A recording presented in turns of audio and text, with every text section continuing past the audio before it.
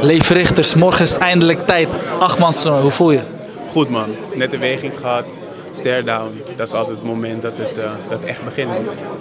Ja, je bent een hele aardige jongen, maar die stare down die was echt intens hoor. Ja man, soms moet je even, uh, even op je strepen staan man. Weet je, als iemand uh, inderdaad vuist in je gezicht zegt, ja, dan is het soms even tijd om te schakelen man. En te laten zien dat dat ook, ook kan. Je bent een vrij grote favoriet hier. Uh, is natuurlijk een grote jongen met heel veel power. Had je verwacht dat jij uh, de favoriet zou zijn? Um, had ik verwacht of niet per se, man. Kijk, ik, kijk, ik, ga, ik vertrouw op mijn eigen kunnen. En uh, voor mijzelf ben ik natuurlijk wel de favoriet. En ga ik om, om het hele toernooi te winnen. Um, en ik neem het gewoon als compliment dat anderen dat ook vinden. Uh, je hebt natuurlijk aangegeven dat jij van camp bent geswitcht de laatste paar weken. Uh, ja, sommige mensen zeggen dan ja, is dat wel een goed idee, zo close voor zo'n toernooi. Wat heb jij daarop te zeggen? Uh, ja, de timing was misschien niet perfect, maar de keuze moest gemaakt worden van mijn kant. Um, en uiteindelijk, ja, dan maak je er het beste van. En ik heb gewoon door kunnen trainen. Dus ik zie het niet per se als iets negatiefs. Um, weet je, ik werk natuurlijk wel 12 jaar met hem. Dit wordt dan mijn eerste partij zonder hem.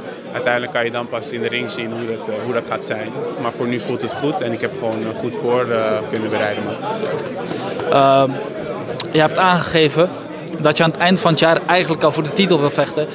En het begin van het jaar toernooi, aan het einde van het jaar kampioenschap is wel een druk schema. Heel druk schema, maar ik heb de afgelopen jaren wat, wat tijd verloren in mijn reis naar die titel toe. Dus nu kan ik dat zo in één avond allemaal recht trekken. En als je hem wint, dan krijg je gewoon die kans. En ja, het zou mooi zijn als dat gewoon het einde van het jaar uh, kan.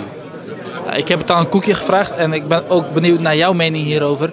Uh, wat denk jij dat mooier is en groter is? Het toernooi, achtmans toernooi of de kampioenschap? Ik vind het lastig man. Kijk, dit is natuurlijk een prestatie. Ja, dit is veel groter dan inderdaad een titelpartij. Maar die belt is gewoon wel veel meer waard. En daar droom ik al jaren van. Kijk, dit is natuurlijk mooi en dit is op, op mijn pad gekomen en dat, ja, dat ga je niet afslaan. Dat is prachtig als je dat pakt, maar uiteindelijk zit die titel in je hoofd. Snap je? Dus ook al win je deze, die titel blijft in je hoofd zitten. Uh, laten we even samen door het toernooi heen gaan. Ik ga gewoon de namen noemen en dan zeg jij wie jij denkt dat gaat winnen. Levi Uku. Levi. Kuki Baram. Kuki.